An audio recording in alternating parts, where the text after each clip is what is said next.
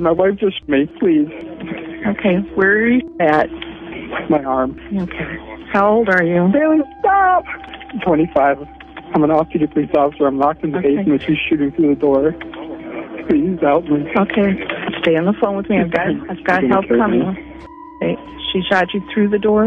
Yeah. All right. I'm bleeding out all over Okay. the place. Do you have something, a belt, a shirt, something that you can tie around that, like a tourniquet?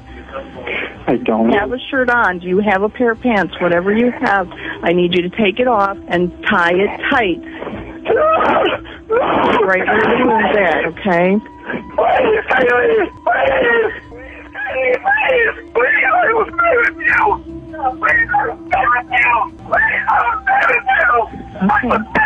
Sir? Sir?